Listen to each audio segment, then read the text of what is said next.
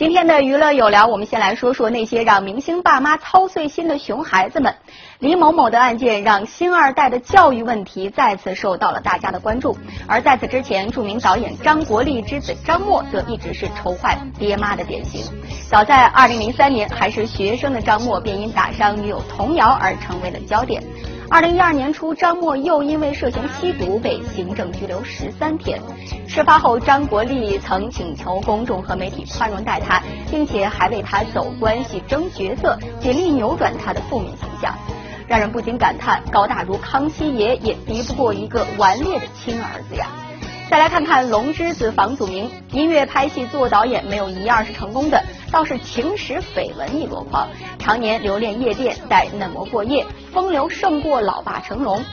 顶着星二代的光环，这些熊孩子们的成长中，除了关注，肯定还有许多别人无法体会的艰辛。虽然曾经坑爹坑妈，但只要知错能改，依然千金不换。